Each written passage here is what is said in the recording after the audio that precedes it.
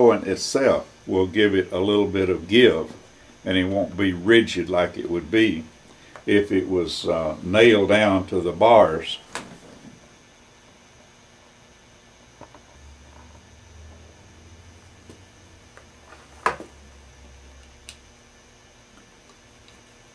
Okay, we're going to do the rear end, uh, the rear strings now.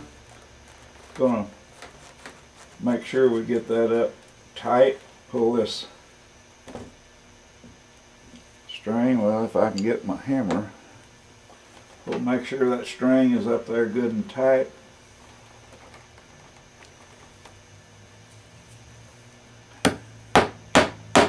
Get a tack started.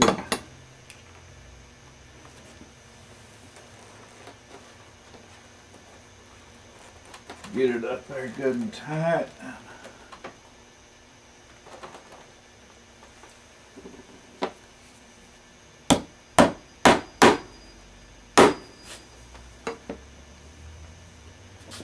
On this one,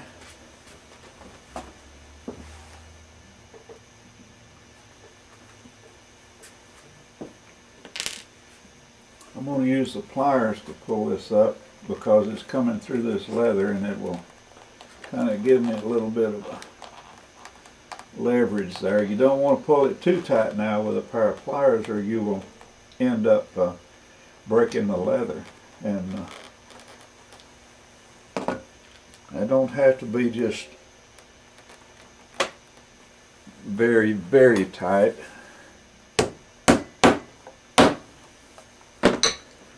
But you want it pretty good, pretty snug.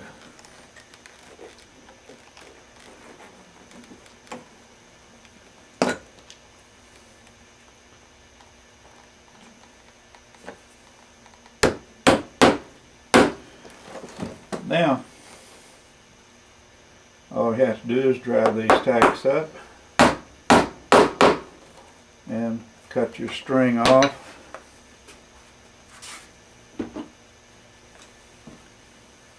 Don't cut it off real close to the tack. Come up half inch or so. Trim it off like that.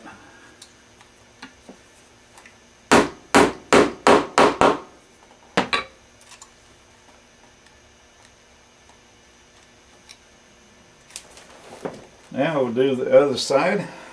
The skirts will be on.